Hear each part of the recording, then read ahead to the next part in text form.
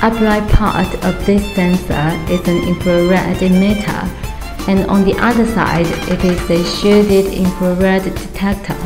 By emitting a beam of infrared light from one end to another end, the sensor can detect an object when it passes through the beam. It is used for many applications, including optical limit switches, palette dispensing, general object detection, etc.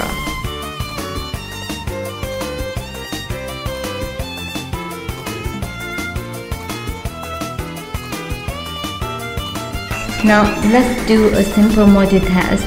First, connect this board to computer with a USB cable to download the program.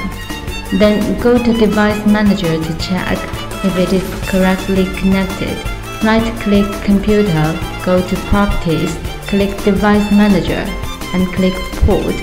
You can see Arduino Uno R3 COM6, meaning board is successfully connected. Now open Arduino IDE, click Tools. For board, select Arduino Uno. For port, select COM6. In here, we can compile a program or directly copy and paste the program.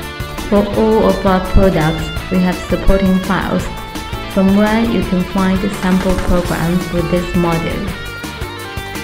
Directly copy the program and paste it here. Click Verify to check compiling mistakes.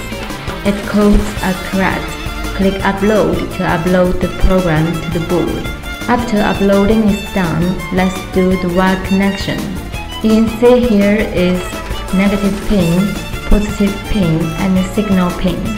We connect positive to 5 volt, negative to ground, as to D3, because in the program we set signal pin to D3. Now you can see the LED on the module is on and pin 13 LED on the board is off.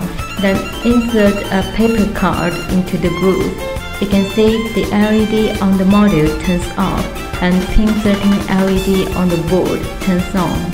Test is now complete. Thank you.